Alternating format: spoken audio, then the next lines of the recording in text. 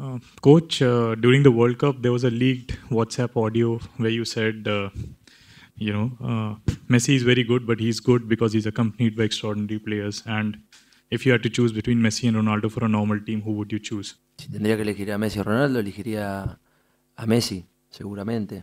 Eh, no tengo ninguna duda. All the details in that WhatsApp audio which revealed during the World Cup, does he? Is it true that it was his message because he also took a dig at the leadership in the Argentinian team? Sí, el vídeo lo dije yo. Lo que pasa que la explicación era fue un mensaje que le mandé a Germán Burgos y bueno, estábamos hablando de fútbol como cualquiera habla con cualquiera.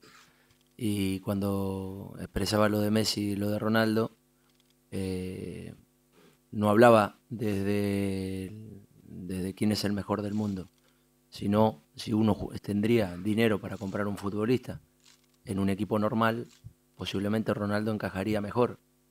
Ahora, en un equipo importantísimo, Messi seguramente rodeado es mejor que Ronaldo. Diego, uh, two things from me. Firstly, uh, in England, it's being reported that Atletico are trying to sign uh, Chelsea striker Olivier Giroud, and uh, also it's been claimed that Sporting are demanding a, a compensation fee for, for the transfer of Gelson. Do you know what the situation is with that? Las contrataciones la- las maneja eh, la dirección deportiva, más allá de las necesidades que obviamente nosotros siempre vamos hablando durante toda la temporada para lo que va a venir.